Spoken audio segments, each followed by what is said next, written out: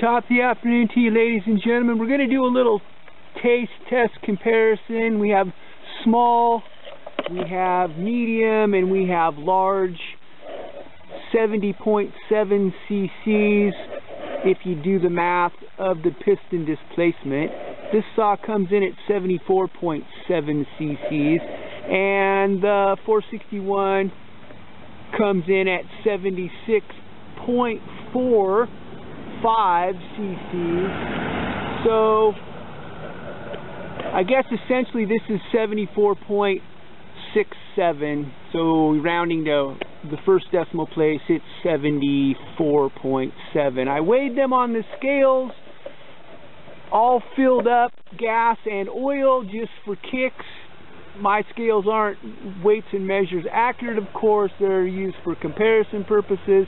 The 461 came in at 17.2 and 17.4, so I'm assuming that means my scale doesn't read in every single tenth. Maybe not, I don't know. I'm going to go with 17.3 on average. The 044, excuse me, 440 technically, it came in at 16.4 consistently, and the 372 with the X PW cylinder assembly came in at 16.8 consistently. So we're using a 30 inch Tsumura lightweight bar. There's some full comp chain on there. We'll take a look at the elevations of the stops after the first cutting session with the 440. This saw has the probably the Psycho S zip kit with the torque tweak. This saw here is the similar kind of build definitely at a disadvantage with the standard Insano for the most part, maybe an Insano S if you want to go that far along. And it's just given up a lot in work, I guess, technically. Definitely going to be at a disadvantage. This saw also is coming in with the kind of a mid-range tune, whereas the two Stihls are coming in with the torque aspect enhanced. So I'm curious to see how it does. Haven't run it much yet. My son Jackson's going to help with the so I'm super thankful there. And we're going to warm up the 440 and then we'll begin.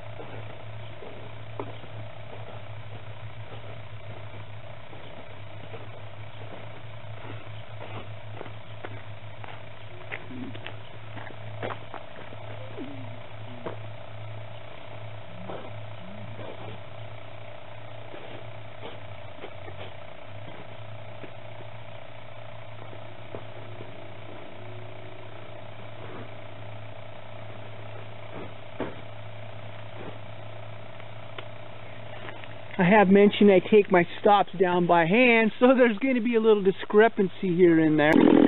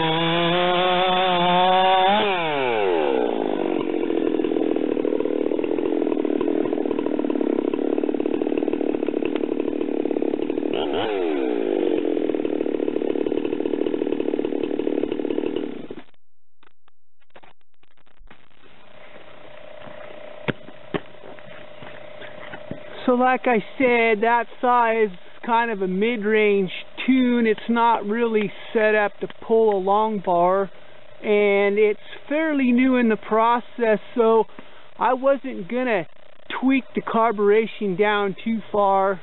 We ran it a little bit here and there.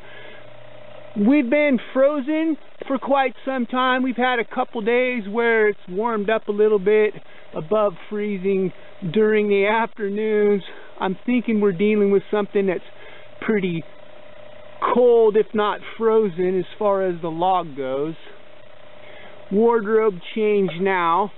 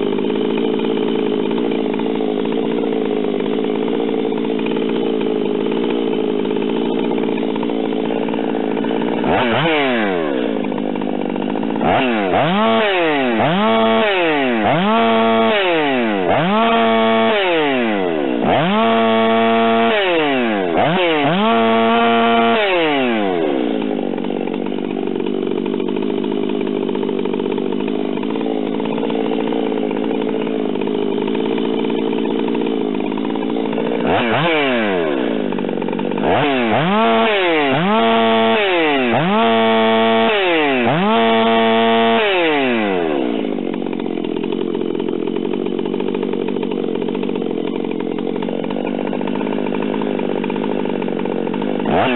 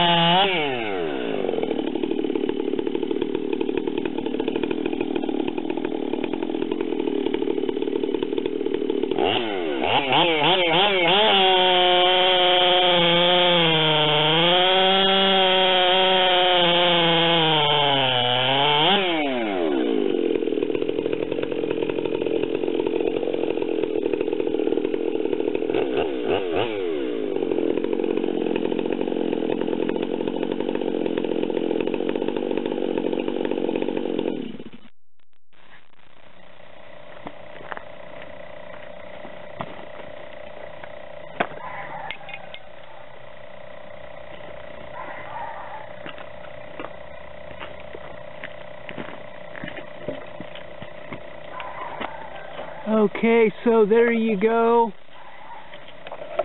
The 461 is going to smoke the other two. Not even worried about that. I am curious how the other two compare. We're two levels up on the 440 in the build process, which is quite a bit, helps out a lot, especially if you do the torque tweak. They're going to be relatively close, I think, and you can see from the tachometer readings that the 372 is running in a different place. It's running a lot higher, kind of in a mid-range tune situation. If you're running a 32 or a 28 or something like that, good option, I guess. The 440 was set up to where it could pull a three-foot bar if it had to in a production application because the guys a timber faller out on the west coast and things being what they are at 5:30 in the morning you'll get a phone call on your way to the job. Oh yeah you pulled your tools out yesterday didn't you and that was your first day in the bottom of a yarder block.